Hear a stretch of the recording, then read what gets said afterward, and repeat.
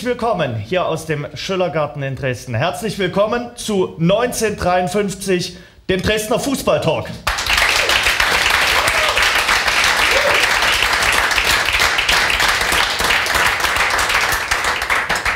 Ja, Dynamo Dresden elektrisiert, emotionalisiert und polarisiert. Über die SGD wird eigentlich täglich bei uns in der Stadt gesprochen.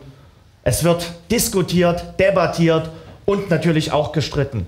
Und deshalb unser neues Format, unser neues Format 1953, jetzt immer einmal monatlich am Montag, immer am Monatsende. Wir wollen sozusagen die Diskussionsgrundlage für Sie bilden, für Dynamo Dresden und sind hier mit 1953 angetreten, was ganz Neues zu schaffen.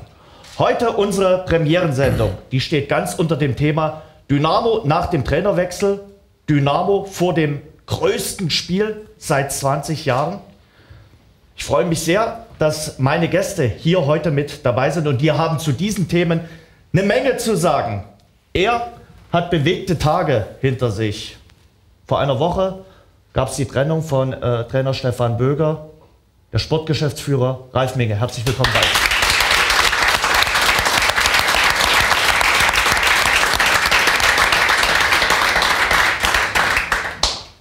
Er hat sowohl für Dynamo Dresden als auch Borussia Dortmund gespielt. Er ist mit der SGD in die zweite Bundesliga aufgestiegen, 2011, war ein Teil des großen Pokalwunders gegen Bayer Leverkusen und ist jetzt ein fester Bestandteil der U23 von Borussia Dortmund. Ich freue mich sehr. David Zolger, hallo.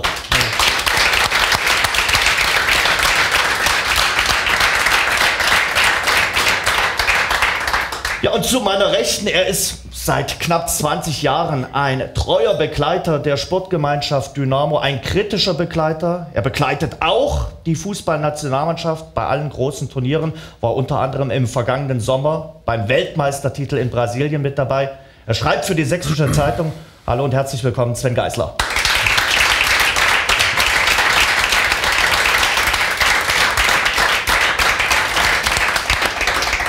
Ralf, vor einer Woche gab es die Trennung von äh, Trainer Stefan Böger. Die Entscheidung wird und wurde bei den Fans doch kontrovers und hitzig diskutiert.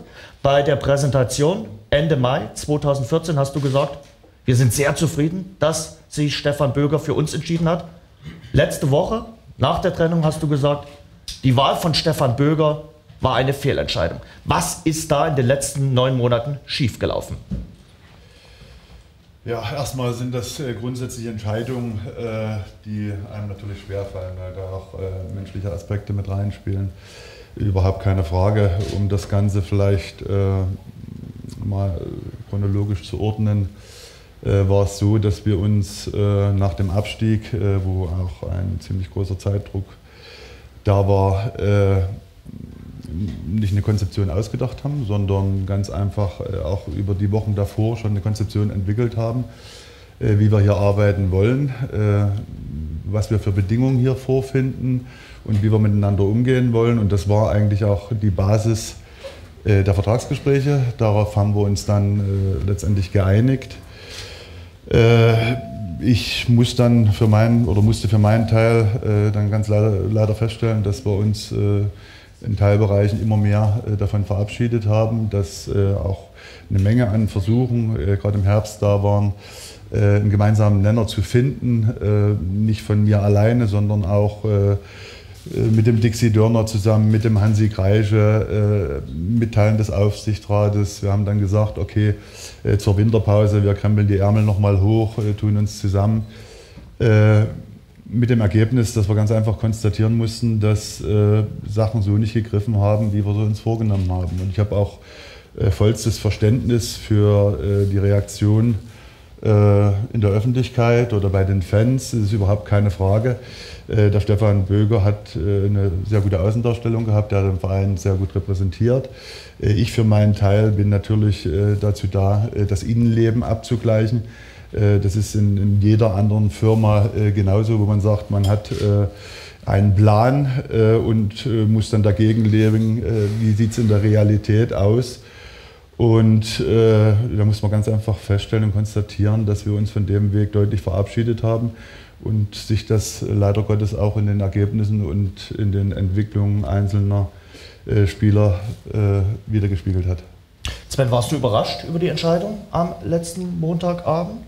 Nicht wirklich. Also äh, es hatte sich ja, die Spannungen hatten sich ja schon abgezeichnet, äh, die es intern gab. Und wenn man ein bisschen näher dran ist an der Mannschaft, eben auch äh, die Präsentation die der Ralf äh, Minge kurz nach dem Abstieg gemacht hat, im Ohr hatte, was er alles wollte, was die Vorgaben waren, ähm, dann hat man schon genau das gespürt, was der Ralf auch gerade gesagt hat, dass sich der Verein nicht mehr auf diesem Weg befindet, dass vor allen Dingen der Trainer den Weg nicht konsequent äh, weitergegangen ist. Ich sage mal Stichworte wie Zusammenarbeit Fitnesstrainer, Zusammenarbeit Psychologe, es war immer in der Vergangenheit ein Manko bei Dynamo, dass äh, im Prinzip der Trainer das Konzept vorgegeben hat. Äh, dementsprechend stand der Verein jedes Mal vor einem Scherbenhaufen und vor einem absoluten Neuanfang und vor einer Mannschaft, die, mit der niemand äh, äh was anfangen konnte, wenn der Trainer äh, sich verbraucht hatte, wie auch immer, wenn die Ergebnisse nicht gekommen sind. Jetzt ist es endlich andersrum gewesen. Das, was man eigentlich verlangen muss von einem Profiverein, nämlich dass der Verein die Konzeption vorgibt und die hat der Trainer umzusetzen äh, Männer auf dem Weg sich oder sich von dem Weg entfernt, dann ist die Konsequenz irgendwann das Ergebnis. Aber was kann man oder was muss man äh, Stefan Bürger jetzt konkret äh, vorwerfen? Es wird viel über die mangelnde Kondition der Mannschaft besprochen, lässt sich ja auch an Statistiken darlegen. Wenn man die Tabelle von Dynamo in der ersten Halbzeit nehmen würde, wären sie Sechster mit 36 Punkten, in der zweiten Halbzeit 13. mit 28 Punkten. Kondition auf der einen Seite, mangelnde Teamfähigkeit von Bürger. Auf der anderen Seite, auf welche Punkte lässt sich das denn konkretisieren?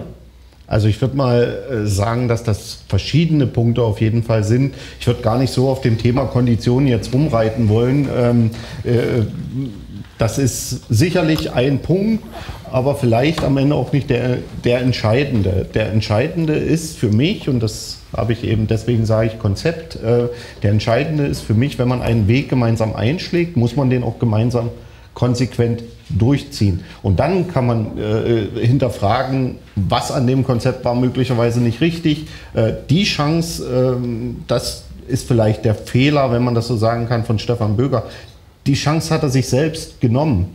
Nämlich hinterher zu sagen, Mensch, Ralf, äh, vielleicht war das mit dem Fitnesscoach doch nicht so eine gute Idee, weil wir doch in der 90. Minute, 93. Minute die Gegentreffer kriegen. Vielleicht war das mit dem Psychologen, der erreicht die Mannschaft nicht, vielleicht braucht man da einen anderen oder ist das gar kein Thema.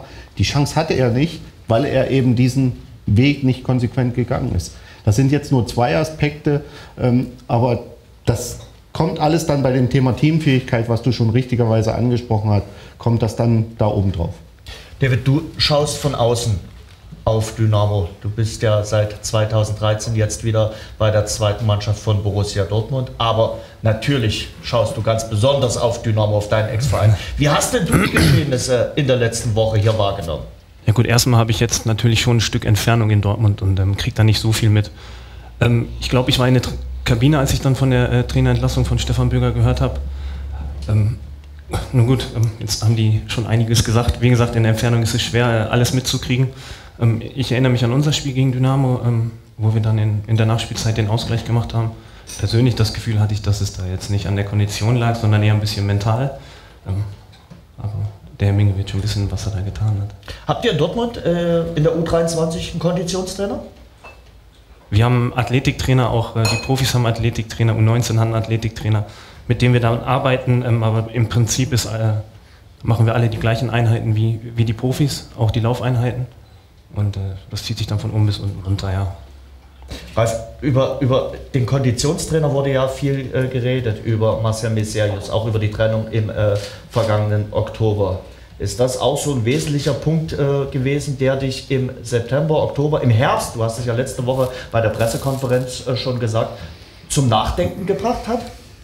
Ich glaube, äh, irgendwann äh, sind wir an dem Punkt, wo wir jetzt nicht äh, nachkarten sollten und äh, dem Stefan Böger hier alles Mögliche in die Schuhe schieben sollten. auch ich habe mich hinterfragt, ich habe auch kritische Worte an die Mannschaft gerichtet. Es war eine Vielzahl von Aspekten, die zusammengekommen sind. Und äh, insofern äh, möchte ich nochmal betonen, ich hab, äh, es war keine Ad-Hoc-Entscheidung, es war kein Alleingang, wenngleich ich natürlich diese äh, Entscheidungen nach außen äh, vertreten muss und die Verantwortung dafür übernehmen muss. Äh, ich habe dabei den Verein im Blick. Äh, da geht es nicht um Namen, um Menge Bürger oder sonst wem, sondern äh, dass wir hier in, Dresden was aufbauen wollen, äh, wo eine Handschrift da ist, wo ein Wiedererkennungswert da ist. Da gibt es sicherlich Cheftrainer-abhängige Bereiche, ganz unbenommen. Aber es gibt eben auch Cheftrainer-unabhängige Bereiche, die eine Konstante über Jahre hinweg bilden sollen. Und insofern ist es, glaube ich, äh, wäre es nicht äh, korrekt und äh, jetzt in irgendeiner Form nachzukarten, sondern wir sollten das dabei belassen und ja, das Thema ganz einfach so hinnehmen.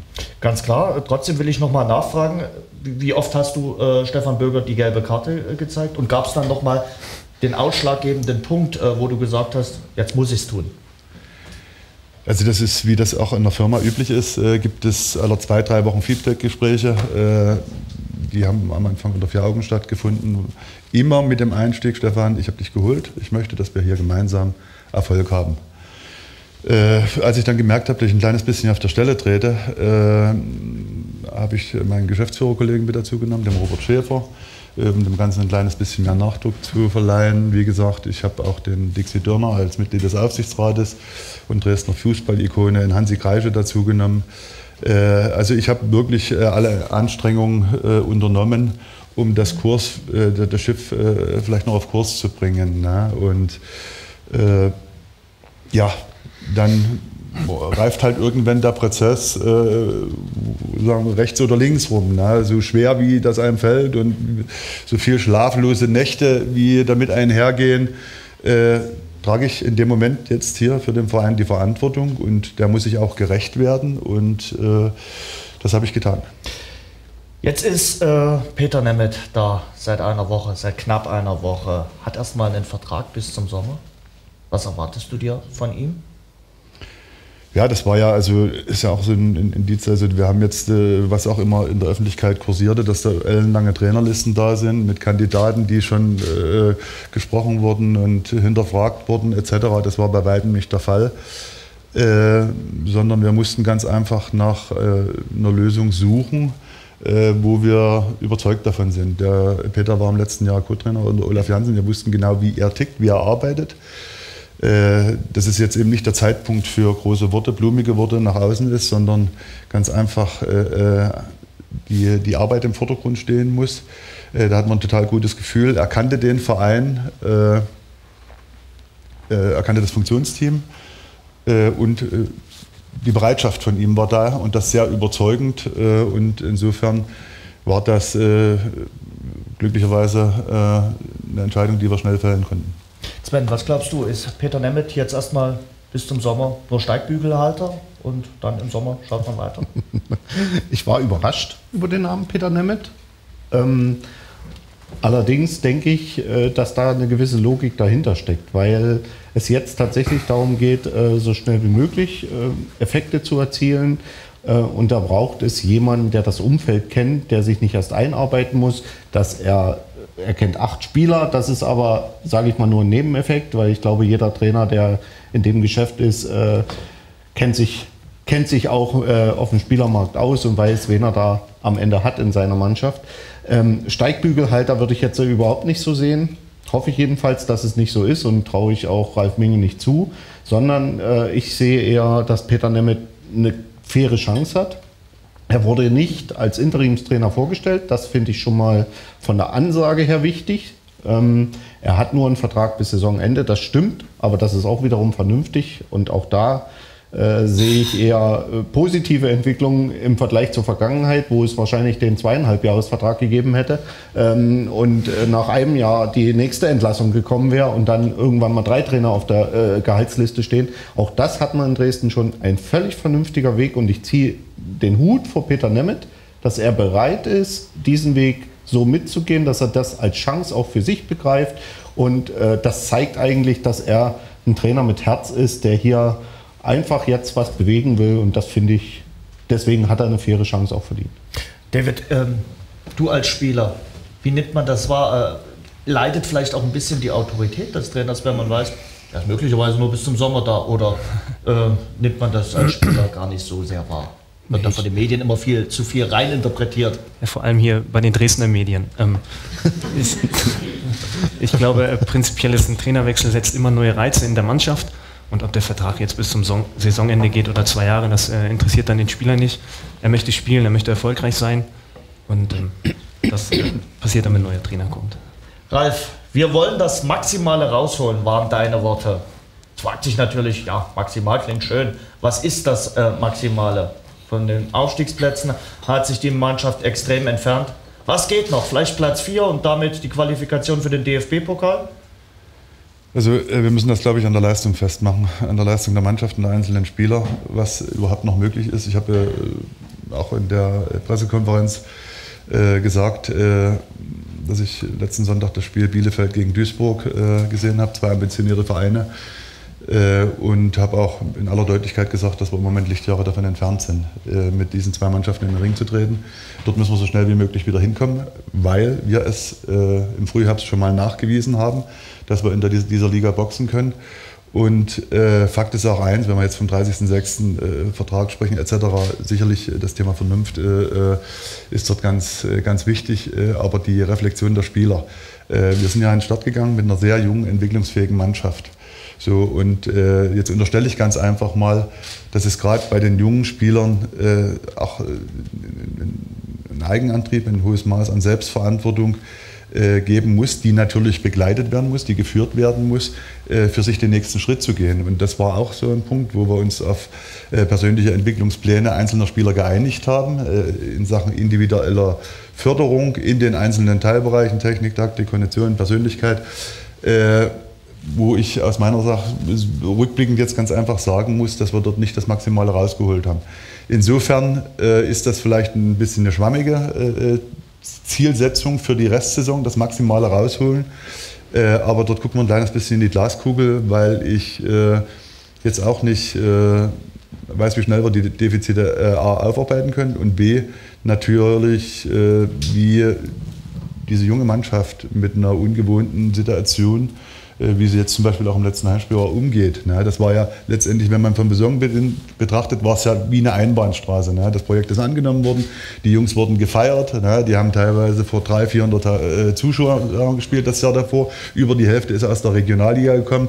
Jetzt stehen die hier auf dem Platz mit 25, 28, 30.000 Zuschauern. Äh, nach fünf Spielen werden die ersten schon Fußballgott genannt. Die Entwicklung für die Jungs ist rasend schnell gegangen. Eigentlich, eigentlich zu schnell. Ne?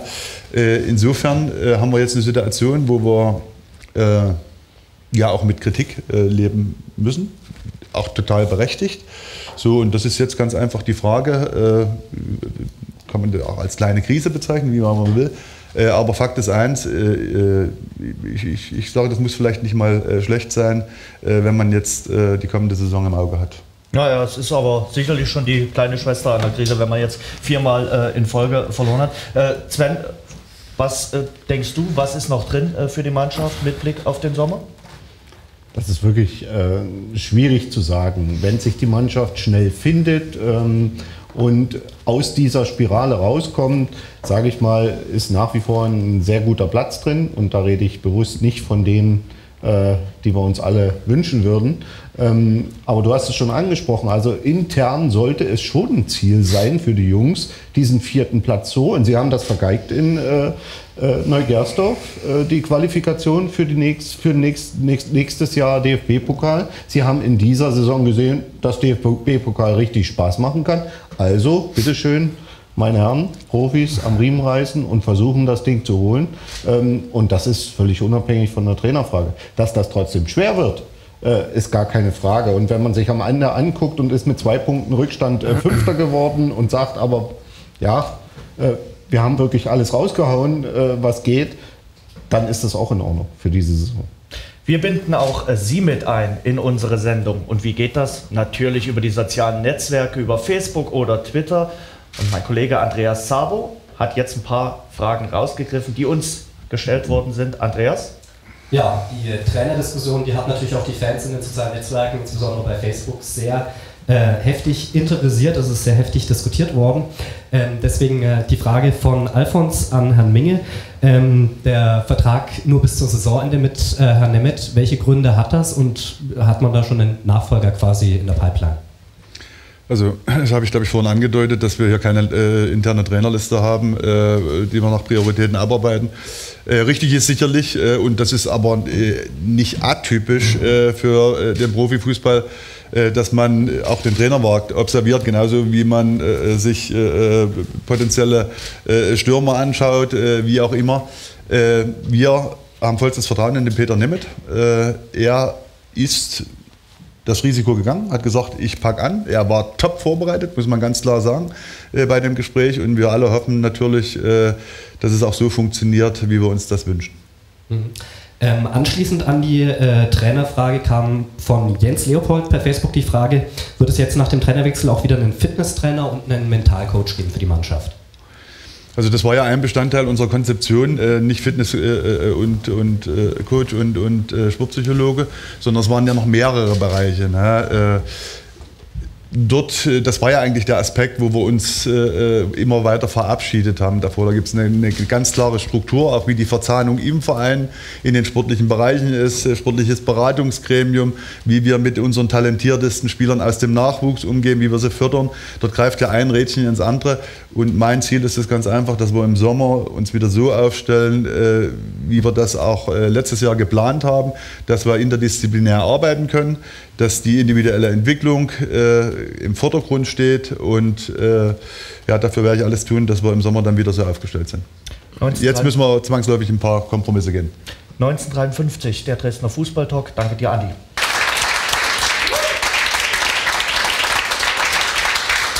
Lass uns, du hast den Sommer schon so ein bisschen angerissen. Lass uns mal auch schon ein bisschen drüber wegschauen. Du hast viele Aufgaben für den Sommer. 15 Spieler stehen unter Vertrag, sind aber auch ein paar Spieler dabei, die aktuell dann kein Vertragsverhältnis über den Sommer hinaus haben. Viel Arbeit. Ja, aber wenn man jetzt mal äh, das letzte Jahr daneben legt, äh, da sind wir schon sehr privilegiert aufgestellt. Äh, das war ja damals der Super-GAU. Ne? Äh, dann, man weiß auch noch mit den Abgängen von Robert Koch und äh, Thorsten Schulz. Äh, Insofern haben wir erstmal eine solide Basis. Wir werden jetzt natürlich noch mal gründlich analysieren, welche Schwerpunkte wir in Bezug auf die neue Saison setzen. Maßgebend wird natürlich auch sein, wie die Lizenzierung für die einzelnen Ligen läuft, welches Budget wir zur Verfügung haben ja, und versuchen dann die richtigen Rückschlüsse zu ziehen, vor allen Dingen dann auch die richtigen Entscheidungen zu treffen. Äh, aber da haben wir äh, dieses Jahr schon ein kleines bisschen mehr Zeit als im letzten Sommer. Lizenzierung bedeutet zweite und dritte Liga parallel. Ja, und de facto Regionalliga. Ja. Das wollen wir mal wollen nicht. wir nicht den Teufel an die Wand machen. Ja, das wollen wir jetzt hier nicht äh, tun. Wer steht denn in der kommenden Saison im Tor bei Dynamo? Also es wird jemand im Tor stehen, die Gespräche laufen. Davon gehe ich fest aus. Äh, die Gespräche laufen, äh, aber es ist, glaube ich, nicht der Zeitpunkt, um irgendwie äh, Wasserstandsmeldungen abzugeben. Das werden wir, wenn wir Vollzug haben, werden wir das auch entsprechend kommunizieren.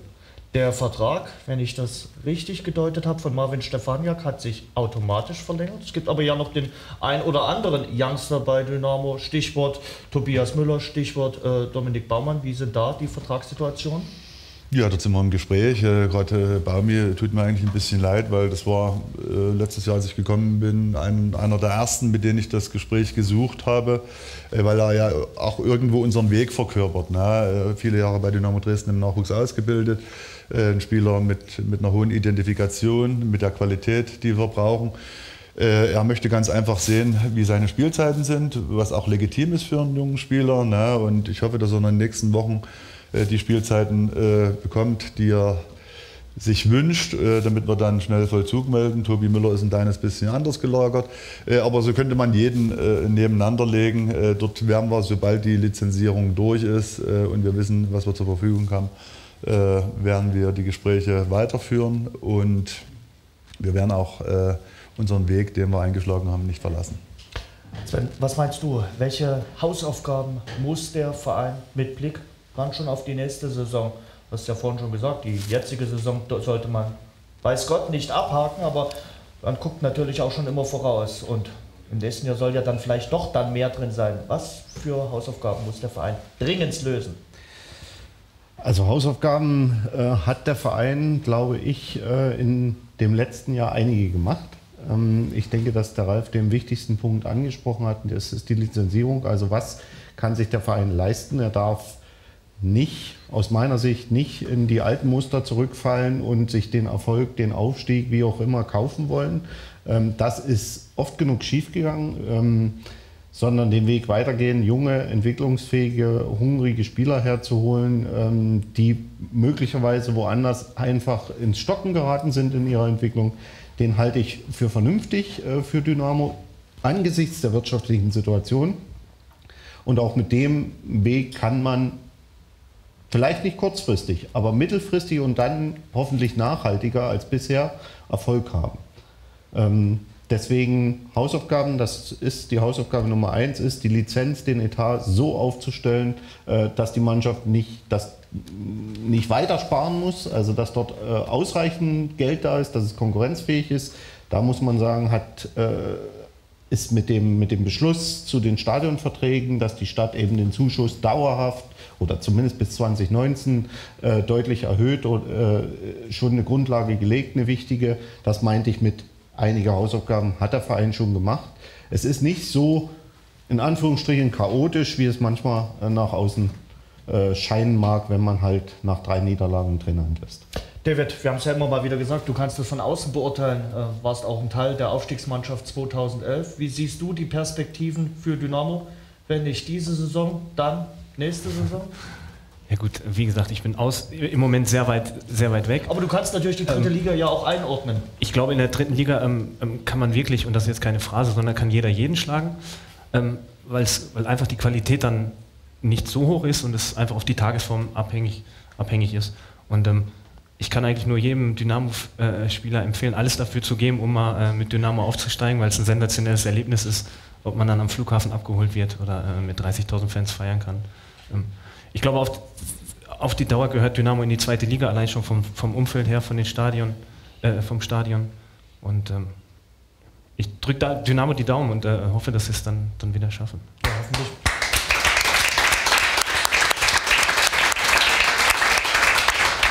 Hoffentlich müssen wir darauf nicht so sehr lange warten. Äh, du hast die ganze Emotion schon angesprochen und wenn wir über Emotion reden, dann reden wir über ein Spiel, was vor uns liegt. In acht Tagen ist es soweit. Äh, Dynamo Dresden gegen Borussia Dortmund. Vielleicht das größte Spiel seit 10, 15 Jahren. Ralf, die Ticketnachfrage sprengt das bislang Dagewesene. Das sind ja fast Europapokaldimensionen. Tja, das ist, äh, wenn nicht sogar noch noch mehr. Äh, das ist äh, natürlich äh, toll für uns, sowohl emotional, sportlich als auch wirtschaftlich. Und insofern äh, tut es mir auf der einen Seite leid, ne, weil äh, viele, die das Spiel unbedingt sehen wollten, äh, keine Karte bekommen haben. Auf der anderen Seite haben wir ja das Glück, dass es ein Live-Spiel ist. Das war ja auch im Sommer gegen Schalke so. Das war ja ein unglaublich wichtiges Spiel für uns, wo wir, wo wir die Chance hatten, unheimlich Werbung auch für, für unser Projekt zu machen und das auch getan haben. Äh, ja, insofern freuen wir uns alle. Wie viele Tickets hätte man roundabout verkaufen können? hypothetisch, aber sechsstellig? Also die, die 30.000, die hätte ich in meinem Freundes- und Bekanntenkreis schon weggekriegt. Du hast neue Freunde kennengelernt, sicherlich in den das ist, Ja, ja, das ist, äh, da äh, haben sich welche gemeldet, die habe ich äh, seit, äh, seit meiner meiner Abiturzeit äh, nicht mehr gehört und wie, wie gut war, wie, wie, wie, oft die mich damals ab, abschreiben lassen haben. Ne? Und jetzt müsste ich mich eigentlich revanchieren mit Karten. Nein, das ist toll, ganz einfach. Ne? Sven, äh, ist das äh, Spiel Fluch und Segen zugleich für den Verein? Auf der einen Seite natürlich Segen, weil darüber so sehr geredet wird, weil es die Stadt, den ganzen Verein emotionalisiert, aber Fluch vielleicht auch, weil eben schon seit Ende Oktober, seit der Auslosung über das Spiel so sehr geredet wird, weil es vielleicht auch im Hinterkopf der Spieler immer wieder ein Thema gewesen ist. Also aus meiner Sicht kann das nur ein Segen sein. Also ähm, Fluch, ja, es gab sicherlich äh, schon Situationen, wo eine Mannschaft, die im Pokal äh, berauschende Spiele geliefert hat, dann in der Liga nachgelassen hat und man könnte auch nach Schalke, Erfurt und so weiter, könnte man auch so interpretieren. Aber ich ich denke nicht, dass, äh, dass das die Spieler lähmt, wenn sie sich auf so einen Höhepunkt freuen können. Äh, ganz im Gegenteil, das sollte, sollte Motivation sein. Natürlich, ähm, gerade in den beiden Spielen Regensburg, Groß Asbach, gesetzt den Fall, Dynamo wäre super ins neue Jahr gestartet, äh, wäre dran an den äh, Aufstiegsplätzen nach wie vor, dann verleitet das natürlich vielleicht bei den Gegnern, die genau da um dieses Spiel drumherum sind, zu sagen, na gut, konzentrieren wir uns auf Dortmund. Aber ich glaube, in der jetzigen Situation äh, werden die Spieler versuchen, alle drei Spiele zu gewinnen und äh, da auch den Fokus drauf legen. Na schauen wir mal, na, hoffentlich. Äh, David, der Scout vom BVB war am Samstag in Dresden, saß auf der Tribüne. Also ich sag mal, beängstigendes wird der Jürgen Klopp nicht berichtet haben. Ja, gut, das, das, das, darüber urteile ja jetzt nicht ich. Ähm, ich denke, es war auch schon vorher ein Scout äh, in Dresden. Ähm, ähm, Borussia Dortmund ist, ist, immer sehr gut vorbereitet, hat eine äh, große Analyseabteilung und die werden sicherlich nicht nur das Spiel am Samstag gesehen haben. Hat man dich mal gefragt, als ehemaliger Dresdner, wie du das Ganze hier bewertest? mein Trainer hat das natürlich schon gemacht. Ähm, jetzt, wie gesagt, mit Jürgen Klopp habe ich da nicht so viel zu tun. Ähm, ich werde ihm gerne einen Radeberger empfehlen, wenn er mich dann mal nach einem Tipp in Dresden fragt. Aber äh, ansonsten wird er, wird er schon selbst sehr gut vorbereitet sein mit, mit, mit seinem Team. Ähm, aber du kennst natürlich äh, den ganzen äh, Verein, du kennst das äh, Ganze drumherum. Äh, wie, wie, wird das in Dortmund wahrgenommen? Wie wird Dresden, wie wird Dynamo wahrgenommen? Ja, ich, ähm, in Dortmund kann man sich ja auch noch an unser Pokalspiel erinnern, ja. Ähm, ähm, was dann vor zwei Jahren, 2011, zwei Jahren in Dortmund war. Nach dem, nach dem Sieg Und äh, soweit ich weiß, ist ja auch der Gästeblock relativ schnell ausverkauft gewesen. Ähm, auch die Fans von Borussia und der Verein freuen sich dann auf so ein Traditionsduell. Natürlich ist jetzt ähm, spielt die Mannschaft morgen äh, im Pokal äh, Champions League gegen Turin, dann am Samstag im Derby gegen Schalke. Dann Dresden natürlich eine äh, ähm, schöne Woche und äh, gut, sie werden sich genauso aufs Spiel freuen. Ganz klar. Liegt der Druck aber jetzt natürlich auf dem BVB, weil es ist ja möglicherweise mit dem Pokal die letzte Chance, sich doch noch für das internationale Geschäft zu qualifizieren. Auch wenn der ein oder andere nach den letzten drei Siegen in der Bundesliga meint, na vielleicht greifen sie auch nochmal die Europa League äh, an. Ja gut, schon durch die drei Siege jetzt ist natürlich die Stimmung in Dortmund wieder besser. Der Druck klar liegt da beim BVB, sie sind der Erstligist in Champions League Teilnehmer, Dynamo spielt in der dritten Liga. Ähm, ich glaube, sie werden das Spiel sehr ernst nehmen, wie sie es, wie sie es davor ähm, mit allen Drittligisten gemacht haben, wo sie im äh, Pokal, äh, gegen die sie im Pokal gespielt haben. Und ähm, ja, der Druck. Klar, die Jungs wissen, um was es geht. Ähm, ich kann nur, wir haben letzte Woche äh, ähm, jetzt nicht im Hinblick auf das Pokalspiel, sondern ein Testspiel gemacht gegen die Profis, wo wir dann mit der dritten Ligamannschaft gegen die Profis gespielt haben, wo dann auch alle mitgespielt haben. Ähm, sie haben sehr, sehr spritzig gewirkt und, und, und diese, diese Siege taten ihnen gut. Deshalb glaube ich, werden sie, ähm, ja, werden sie gut vorbereitet sein. Der Verein oder die Mannschaft ist, hat sich wieder gefangen scheint aber immer noch anfällig zu sein in der Defensive. Da fängt man sich speziell nach Standards immer wieder Gegentore. Ist das eine Möglichkeit für Dynamo? Gerade im Pokalspielen kommt man ja aus dem Spiel heraus vielleicht nicht zu so sehr vielen Chancen, über Standards da was zu regeln? Die Chance ist im Fußball immer da und vor allem bei Standards. Ähm, viele Spiele werden durch Standards entschieden. Ähm, ja, mal sehen, ich bin, jetzt, ich bin jetzt nicht nur Jürgen Klopp, der da äh, genau auf die Standards eingeht. Ähm, ich kenne auch die Statistik jetzt nicht so genau. Im Pokal ist immer alles möglich und wenn es dann durch Standardsituation ist, dann, dann so. Ralf, es ist ein riesengroßes Spiel für die Dynamos. Wir hatten ja vorhin noch mal drüber geredet. Manche Spieler aus der Mannschaft haben in der letzten Saison vor 300, 400 Zuschauern gespielt. Ich kann mir vorstellen, dass die Anspannung und die Nervosität riesengroß ist. Wie war das eigentlich früher bei dir? Europacup-Spiele gegen Rom oder Stuttgart? Warst du da auch aufgeregt und nervös oder hast du gesagt, naja, dann heute halt AS Rom? Nein, nein, das waren schon äh, Festtage, äh, überhaupt keine Frage. Wir haben äh, oben am Heller haben wir äh, die Nacht zugebracht und dann äh, ging das schon los, wenn man Richtung Dresden reingefahren ist. Die Giraffen standen, äh, die Licht, das Licht ist angegangen und in der Regel war es so, wenn wir 75, 80 Minuten vor dem Spiel auf dem Platz waren, da war, war ja das Stadion de facto schon total gefüllt. Ne? Also das, das sind Erinnerungen, die, die, die werden für ewig bleiben. Ne? Und äh, da war man schon, schon besonders aufgeregt, ja, keine Frage. Groß motivieren muss man die Truppe am Dienstag sicherlich nicht. Also ich glaube, da braucht keiner irgendwelche einpeitschenden Worte zu finden. Was erwartest du von deiner Mannschaft?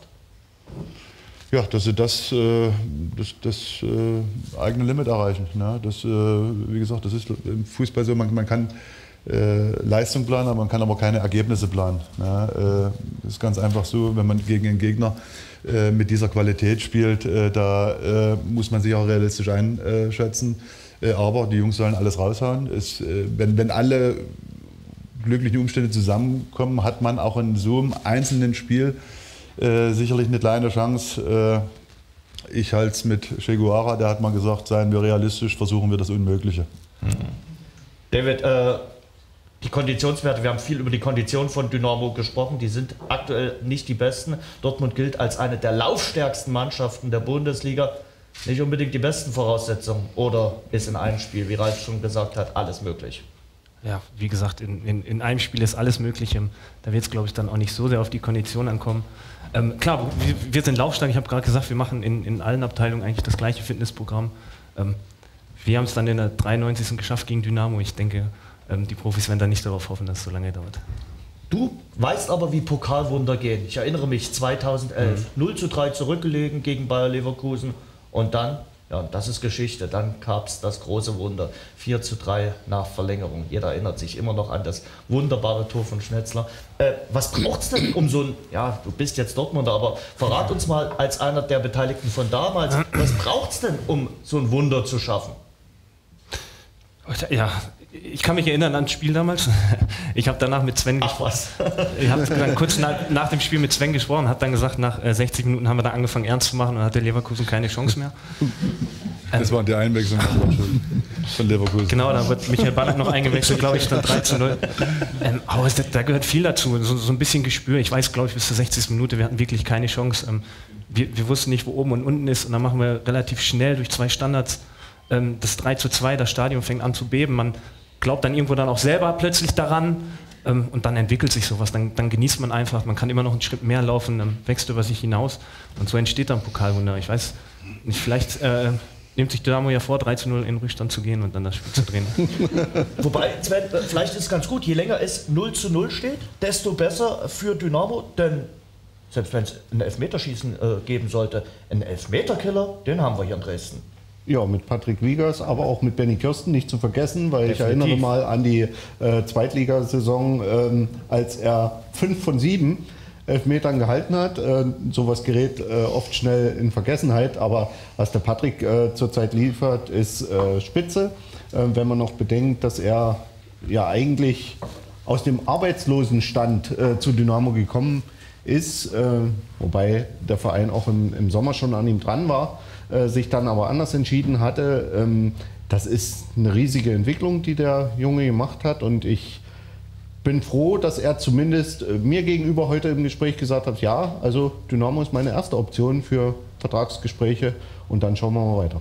David, wie wirst du das Spiel nächsten Dienstag äh, schauen? Auf der Couch, schön mit Chips äh, vom Fernseher oder wie genießt du das? Äh, zwei Tüten Chips, nein. Zwei Tüten Chips, okay. ähm, äh, erstmal wäre ich natürlich gerne hier, aber ich habe an den Dienstag äh, zweimal Training und ähm, klar, ich würde zu Hause sitzen auf der Couch. Ähm, mein Sohn, der jetzt 14 Monate ist und, und, und er freut sich immer, wenn Fußball im Fernsehen ist, der wird dann neben mir sitzen oder wahrscheinlich nur rumlaufen und so werde ich das Spiel dann genießen und ja, auch ein Stück traurig sein, dass ich nicht dabei sein kann. Ganz klar. Wem du da die Daumen drückst, das frage ich dich jetzt lieber nicht. Äh, Ralf, verrat mir noch, äh, auf Dresden und Dynamo schaut, wie gesagt, am kommenden Dienstag ja, ganz Fußball Deutschland. Was äh, versprecht ihr euch über das Sportliche hinaus äh, für das ganze Image des Vereins? Was soll von diesem Fußballabend ausgehen? Ja, ich glaube, wir haben äh, zwei äh, Fußballfeste im Pokal dieses Jahr äh, erlebt, die seinesgleichen suchen, äh, wo wir auch Maßstäbe gesetzt haben. das kann man nicht nur auf das Sportliche beschränken auch äh, äh, auf, das, auf die emotionale Unterstützung. Ich sag mal, selbst die Schalker haben gesagt, dass sie sowas eigentlich in dem Sinne noch nicht erlebt haben, äh, wie, wie Publikum so äh, emotional sein kann, äh, eine Mannschaft tragen kann. Äh, und darüber hinaus war es auch eine, eine super friedliche Atmosphäre. Also das ist so, das sind die, die drei Botschaften, die wir als Verein dort nochmal deutlich manifestieren können. Andreas Sabo, Zeit für die sozialen Netzwerke, Zeit für die Fragen unserer Zuseher. Ja, ähm, das Thema Pokalspiel und vor allem die Tickets haben äh, unsere äh, Online-Freunde bei Facebook und Twitter sehr bewegt. Ähm, da die Frage an den Herrn Minge, kann man in Sachen Ticketverkauf was ändern in Zukunft? Vielleicht bei der nächsten Mitgliederversammlung, zum Beispiel, dass man sagt, äh, jedes Mitglied hat eine Garantie auf eine Karte, aber dann nur eine Karte, zum Beispiel als Vorschlag. Das hat äh, Marco Trautmann gefragt. Also ich muss mich ja auch erstmal in die, diese Regularien reindenken. Äh, Fakt ist eins, äh, äh, in Schritt eins, was ich auch als absolut legitim betrachte, dass die Jahreskarteninhaber die Chance haben, ihre Karte zu tauschen. Als zweites dann die Mitglieder, äh, wo satzungsgemäß jeder Anspruch auf zwei äh, Karten hat. Und jetzt sind wir nicht bei Mathematik, sondern bei Rechnen, äh, dass so eine Nummer letztendlich schon mal gar nicht aufgehen kann. Und das ist sicherlich ein Ansatz äh, wo wir sagen, okay, äh, das muss dann aber aus der Mitgliedschaft herauskommen, ne? dass man sagt, man hätte das umgehen können, indem jedes Mitglied eine Karte bekommt. Äh, auch diese, diese, diese, diese Satzung resultiert ja, glaube ich, auch noch aus einer Zeit, wo wir 3.000, 4.000 Mitglieder hatten. Also dort muss man äh, äh nochmal nachdenken. Es ist, wie gesagt, mir tut das um jeden leid und ich habe auch sehr viele Anrufe bekommen, die krampfhaft versucht haben, sich dort äh, bei Ethics einzuwählen und äh, keinen Schritt vorangekommen sind. Äh, ist bedauerlich, ja. Abschließend äh, eine Frage von Richard Köhl an David Zolger. Ja, ähm, die Gretchenfrage: Wie schlägt man denn den BVB? Das verrate ich natürlich jetzt nicht. Ich kann auch sagen, wir haben mal mit der U23 gegen den BVB gewonnen, das ist also möglich. Ähm, natürlich haben, sie, äh, haben, die Voraussetzungen sich geändert wie vor zwei Monaten. Ähm, ähm haben jetzt drei Spiele in Folge gewonnen. Wer weiß, durch Standards oder einen ersten 0 zu 3 Rückstand. Ähm, ich glaub, oder schneit noch. Oder es schneit noch. ja. Aber Dortmund hat damals noch im Schnee gewonnen, in Kiel, also, glaube ich. Du hast das ja halt vielleicht noch ein Abkommen mit Petrus. Äh, Ralf, ich, du musst gleich weg, aber ich will dir noch eine äh, Frage stellen. Äh, vier Tage nach Dortmund gibt es dann äh, Groß Asbach. Die Fans planen eine riesige Aktion, wollen das Stadion voll bekommen mit 30.000 Zuschauern. Groß Asbach macht das Stadion voll. Vielleicht kannst du zu der Sache auch noch zwei, drei Sätze sagen. Ja, äh, wenn ich das jetzt nochmal äh, reflektiere, was dort in Groß Asbach äh, äh los war, das war eigentlich äh, einfach nur gigantisch. Ne? Also äh, die, das war schwarz-gelbes Meer, das ist ja dann auch nochmal so das, das Stadion, was wir noch nicht bespielt haben, ist ja nochmal so ein besonderer Reiz. dort war eine unglaubliche Atmosphäre wo auch sicherlich äh, Groß Achbach als Verein und auch die handelnden Personen eine wichtige Rolle gespielt haben. Und ich glaube, dort ist auch die Idee ein kleines bisschen geboren worden, Mensch, äh, die 20, die aus Groß Asbach mitkommen, die nehmen wir mit in den K-Block und wir gucken mal, dass wir die Hütte voll kriegen. Äh, mir persönlich tut es natürlich jetzt leid, dass wir die Voraussetzungen, die das Ganze vielleicht erleichtert hätten, nämlich erfolgreiche Spiele, so nicht dazu beitragen können. Aber finde ich eine eine von vielen genialen Ideen unserer Fans. Also vor dir liegt viel Arbeit, deshalb äh, musst du uns jetzt leider verlassen. Vertragsgespräche, du hast es angerissen. Dann natürlich der Pokalkracher Dienstag in einer Woche gegen Borussia Dortmund. War trotzdem sehr, sehr schön, dass du dir für heute Zeit genommen hast für 1953, der Dresdner Fußballtalk. Vielen Dank für deinen Besuch.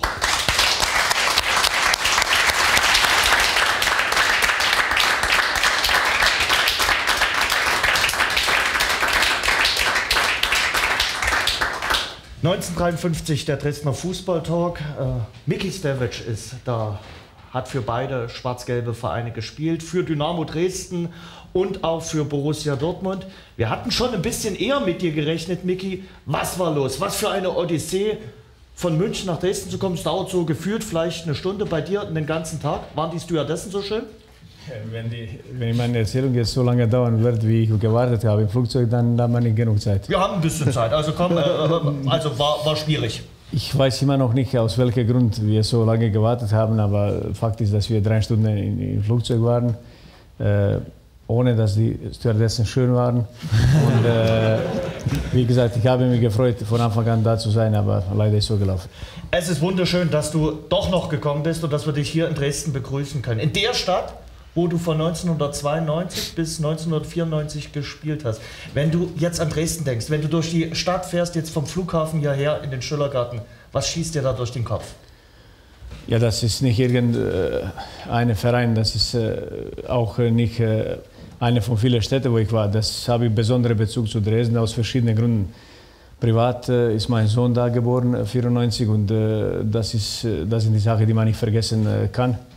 Und erster Trainer war Klaus Sammer. Mit, mit seinem Sohn bin ich äh, sehr gut befreundet und äh, das, was Private betrifft. Was Sportliche betrifft, das ist mein erster Verein in Deutschland. Und äh, ich glaube, ich war sogar erster ausländischer Spieler bei Dresden. Und das sind viele, viele Komponenten, die man für immer behält in seiner Erinnerung. Sven, wenn du an Miki Stevic denkst, an ihn als Spieler, was schießt dir da durch den Kopf? Dann äh, schießen mir äh, vor allen Dingen große Erfolge durch den Kopf, weil äh, Mickey hier mit dazu beigetragen hat, in einer äh, Zeit Bundesliga-Fußball in Dresden ähm, zu erhalten, wo das gar nicht so selbstverständlich war, wie es vielleicht viele angesehen haben. Ähm, Mickey war einer, der äh, immer alles gegeben hat, deswegen auch ein Publikumsliebling. Ähm, und äh, wie gesagt, das sind tolle Erinnerungen. Ich glaube sogar in der, in der Vereinsgeschichte spielt diese Zeit äh, sogar eine untergeordnete Rolle oder wird nicht ganz so gewürdigt. Ähm, wir wissen ja jetzt, wie schwer es ist, diese Bundesliga zu erreichen. Nämlich seit 95 versucht äh, Dynamo vergeblich. Und deswegen äh, muss man im Nachhinein diese Zeit sogar noch mal besonders würdigen. Und Miki hat da eine herausragende Rolle gespielt, keine Frage.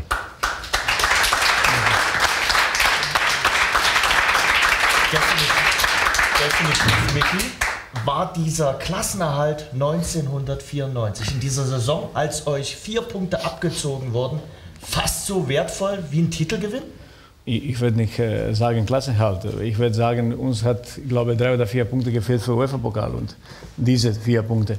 Und äh, wie Sie vorher gesagt haben, kann ich mich anschließen. Äh, dadurch, dass Dynamo eine unglaubliche äh, Geschichte hat und für mich äh, mit Abstand Nummer eins in, in Ost, Ostfußball ist, äh, geht verloren diese Zeit äh, aus Bundesliga.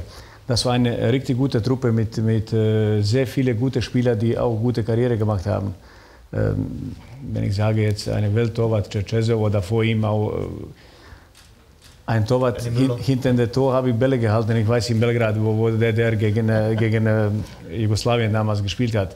Der war später mein Kapitän, ein vorbildlicher äh, Mensch. Und, und äh, Uwe Jenig ist zum HSV gegangen, Sven Kmer zu HSV. Und jetzt, dass ich jetzt nicht weitergehe, das sind äh, Peter Nowak, Olaf Marschall. Das war eine super Truppe mit guten Trainern. Ich habe auch Glück gehabt, gute Trainer zu haben, gute Menschen zu haben, wie Klaus Sama, Ralf Minge, äh, Sigi Held. Das waren alle gute Menschen und gute Trainer und deswegen äh, und wir haben diese Mentalität gehabt, äh, die diese Verein, der diese Verein immer geprägt hat. Weil wenn du, wenn du Dortmund oder andere Vereine Bayern München aus Pokal rauswirfst mit hohen Ergebnissen, dann ist kein Zufall, dann ist das schon ein bisschen mehr dahinter. Jetzt ist es ja so, du hast äh, nach deiner Station in Dresden äh, in München gespielt für die Löwen und dann für Borussia Dortmund. Mit Dortmund bist du Meister geworden 2002. Am kommenden Dienstag spielen beide Vereine gegeneinander. David habe ich nicht gefragt, aber dich frage ich, äh, für wen schlägt denn dein Herz in acht Tagen? Ich gebe immer ehrliche Antworten. Was fußballerisch betrifft, äh, ist auch schwer Antwort zu geben, weil das ist mein erster Verein. Borussia Dortmund ist der Verein, wo ich, äh, wenn ich nochmal geboren werde, werde ich wünschen, bei diesem Verein zu spielen. Und äh, das ist ein bisschen schwer. Aber wenn man über Sport spricht, ich glaube, für mich mehr als Dortmund gibt es nicht in der Bundesliga. Und äh, Borussia Dortmund, wir haben schon so ein bisschen das Spiel angerissen, scheint sich ja jetzt so peu à peu wieder gefestigt zu haben in der Bundesliga. Zumindest zuletzt gab es drei Siege. Ich freue mich sehr, dass, dass die jetzt äh, eigenen Rhythmus gefunden haben. Aber das ist auch was, alles, was passiert ist, ist auch ein eine normaler Ablauf. Wenn man so viele Verletzte hat, wenn man so viele Nationalspieler hat äh, und äh, wenn man verliert äh, nicht äh, sehr gute, sondern Weltklasse-Spieler, äh, dann braucht man auch Zeit, äh, alle, alle diese, diese Komponenten wieder zusammenzubringen, dass das wieder funktioniert, wie es funktioniert hat. Weil das sind, braucht man ein bisschen längere Zeit, um, um erklären, weshalb es so gelaufen, wie gelaufen ist. Aber was zählt, ist das, dass sie sich gefunden haben und äh, wir werden alle Daumen drücken, dass sie gegen Juventus Turin ein gutes Spiel machen und dass wir sehr gut Borussia Dortmund tun und auch deutsche Fußball allgemein. Davon gehe ich fest aus. Ähm, wie verfolgst du das Fußballgeschehen hier in Dresden? Äh, mit einem Auge, wegen meiner Verbundenheit. Aber mit dem scharfsehenden Auge? Mit, wegen meiner Verbundenheit, weil es ist immer schwer und unangenehm zu sprechen über, über Sachen, wo man nicht direkt involviert ist. Und, äh, äh, ich verfolge natürlich jeden Verein, wo ich gespielt habe. Dresden in der Fall besondere, weil, weil das mir äh, auch ein bisschen wehtut, äh, was alles in letzter Zeit passiert ist, weil diese Stadt, diese Fans haben verdient eine erste Ligist, besonders mit diesem Stadion. Ich habe nicht Glück gehabt, in so einem Stadion in Dresden zu spielen, aber das damalige Stadion war trotz alles immer voll und wenige Vereine in der Bundesliga können sie schmücken damit, dass, dass, dass die Fans sie unterstützen bei einem Rückstand von 0-1 oder 0-2. Und äh, einige davon sind die Borussia Dortmund und Dynamo Dresden. Du hast äh, deine Zeit hier in Dresden erwähnt. Du hast unter Sigi Held äh, trainiert hier in äh, Dresden. Er war damals dein Coach. Äh, Sigi Held galt ja als, ja, ich sag mal, der große Schweiger. Hat auch in Interviews jetzt nicht ja, geplaudert gerne. Wie lange waren denn die äh, Halbzeitansprachen oder die Teamansprachen unter Sigi Held? Ich treffe ihn äh, oft, wenn ich, wenn ich bei Dortmund äh, spiele bin. Und ich freue mich immer wieder, ihn zu sehen, weil das ein wirklich guter Mensch und guter Trainer war. Die, die Absprache von dem Spiel war für mich überraschend damals, weil das erste Trainer auch bis Ende meiner Karriere war, der Aufstellung und alles äh, auf einem Stuhl so vorgelesen hat in eine ihm bekannte lockere, lockere Stimmung. Und wie gesagt, das werde ich nie vergessen. Und ich glaube, Sigi Held ist ein großartiger Spieler und ist als Typ auch authentisch. Und das sollte auch so bleiben in der Bundesliga, dass wir, wir brauchen mehr authentische Leute und nicht immer so serienmäßige Produkte. David, äh, Sigi Held ist in Dortmund eine Institution. Er ist ja Fanbetreuer bei Borussia Dortmund. Äh, ein ganz wichtiger Spieler, hat ja maßgeblichen Anteil hier am Klassenhalt in Dresden, maßgeblichen Anteil als Spieler, dass Borussia Dortmund damals den Europapokal der Pokalsieger geholt hat. Also der hat schon einen klangvollen Namen, oder? Ja klar, ähm, in, in, in, Dortmund äh, ähm, kennt man den Namen.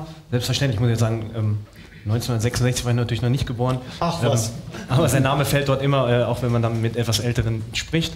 Und äh, klar.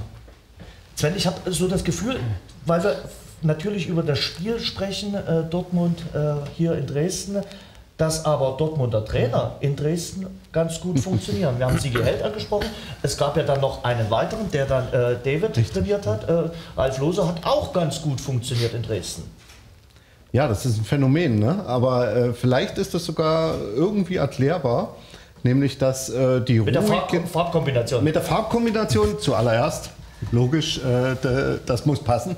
Ähm, aber nein, was ich, was ich eigentlich sagen wollte, es passt von, vielleicht von der Mentalität. Ein ruhiger, ausgeruhter äh, Trainer tut einem, ich sage mal, doch sehr emotionalen, in Teilen auch aufgeregten und hypernervösen Verein äh, vielleicht gut. Und äh, das war bei, bei Sigi Held so, der äh, sich selber nie irgendwie zu wichtig genommen hat. Das war auch bei Ralf Lose so, der da einfach sich nicht davon hat abschrecken lassen, dass die erste Schlagzeile oder eine der ersten Schlagzeilen in Dresden war, noch bevor er das erste Spiel hatte, äh, zum Siegen verdammt. Äh, der hat einfach sein Ding gemacht ähm, und das drumherum ausgeblendet. Und genau das, äh, glaube ich, war ein wichtiger Punkt, dass es damals 2011 äh, tatsächlich noch klappen konnte mit dem Aufstieg, weil die Situation war ja eigentlich nach damals drei Niederlagen auch nicht berauschend. Das stimmt sicherlich. Ähm, Miki, jetzt nochmal über das äh, Pokalspiel äh, wollen wir noch mal kurz äh, sprechen.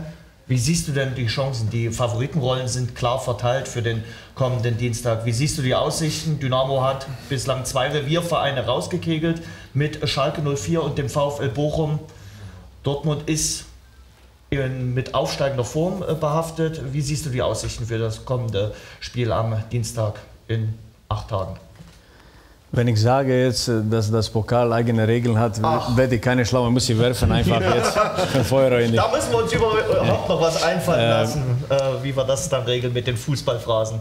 Die Ergebnisse, was Dresden gemacht hat, äh, sprechen für sich, weil wenn eine Mannschaft schafft, Schalke 04 rauszuwerfen aus dem Pokal, spricht für Qualität und, und Tagesform und auch Zuschauerstimmung.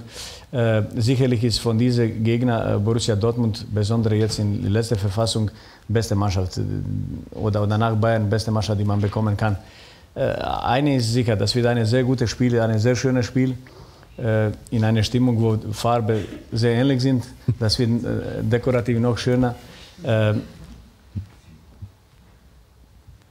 Es gibt keine Regeln. Auf einen guten Tag, man kann schon Überraschung machen, aber dann äh, muss Borussia Dortmund einen schlechteren Tag erwischen. Wo wirst du das Spiel verfolgen?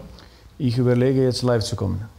Das wäre ja was. Also ich glaube, äh, für diesen besonderen Tag hierher zu kommen, ich denke mal, irgendwo wird, wobei das mit den Tickets nicht ganz einfach ist. Äh, in, in eine, also, eine wird sie immer finden, dann kriege ich vor Dortmund eine. ja, möglicherweise.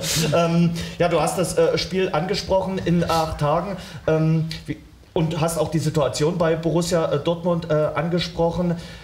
War es für Borussia Dortmund wichtig, dort Kontinuität äh, zu bewahren? Zum Beispiel wurde ja Jürgen Klopp nie in Frage gestellt. Ja, das fand ich klasse, habe ich heute auch, wo ich Gast bei Sendungen war, betont. Äh, das ist auch nicht gewöhnlich, in heutiger Zeit bei den Vereinen auch so zu reagieren. Das spricht auch dafür, dass äh, dieser Erfolg, der geschafft ist bei Borussia Dortmund, nicht Zufall ist, sondern Produkt von äh, vielen fachlich ausgestatteten Personen.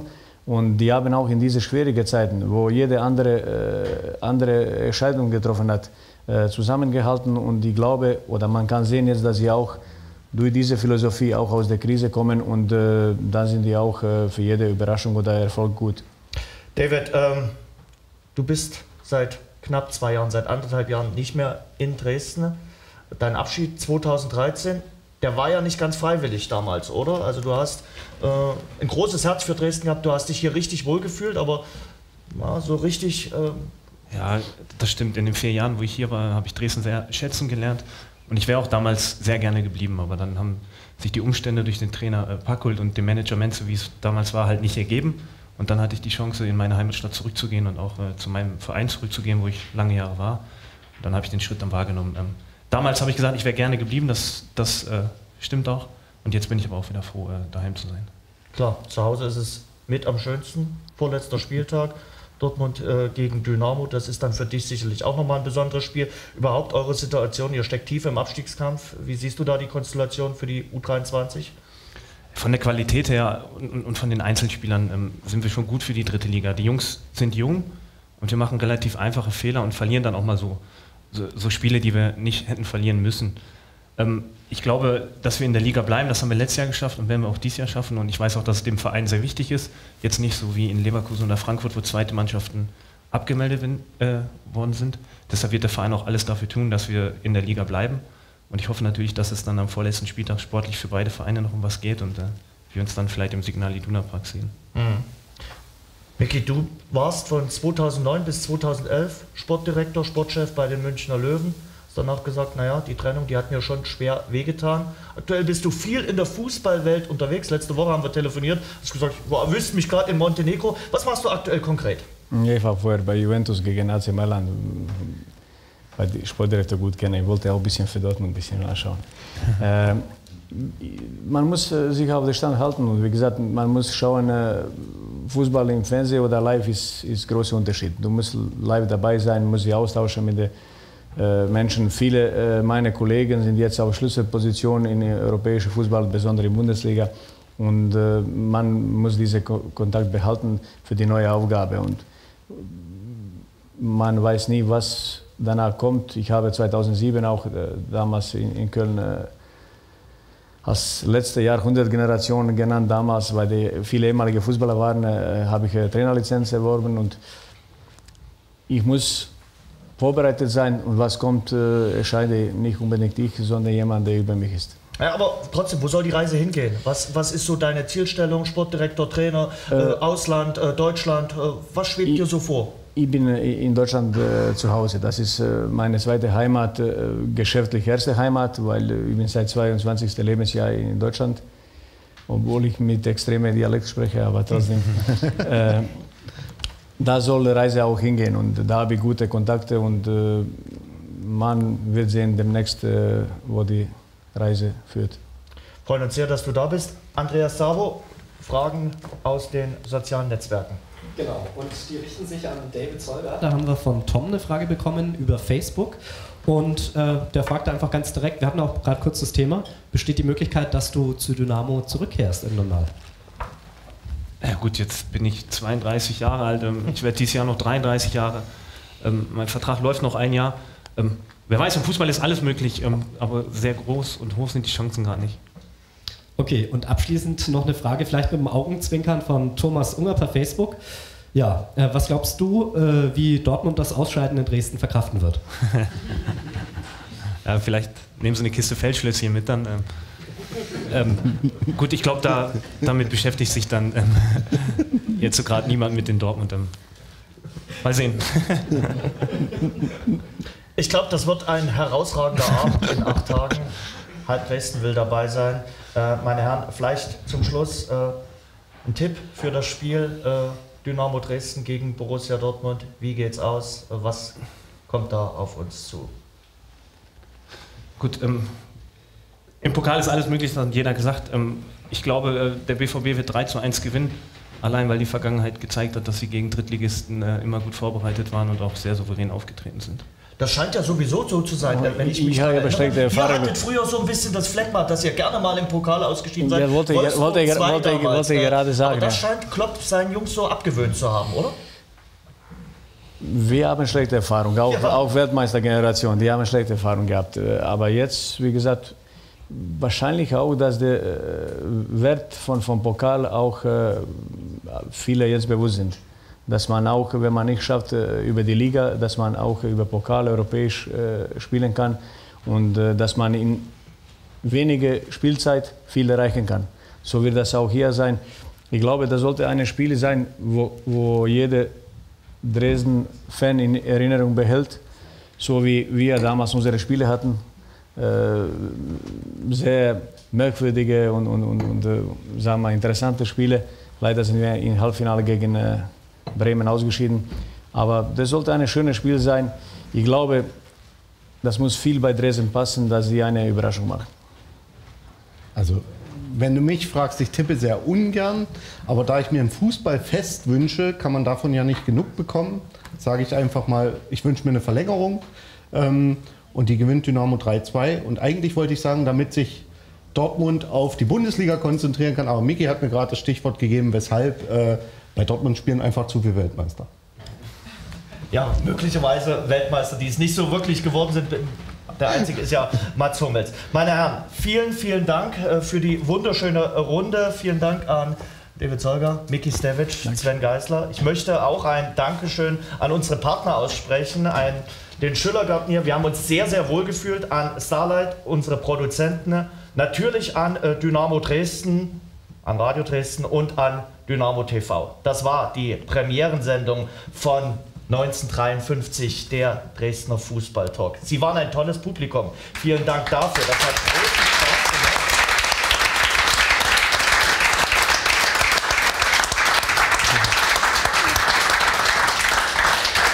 Vielen Dank dafür und ich denke, es gibt eine zweite Sendung am 30. März hier aus dem Schillergarten in Dresden.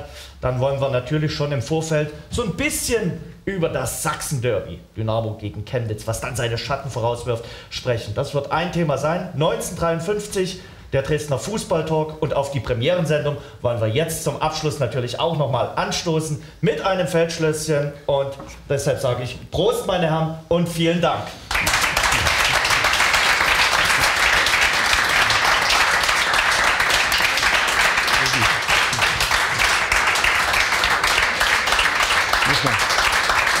Muss man, muss man richtig.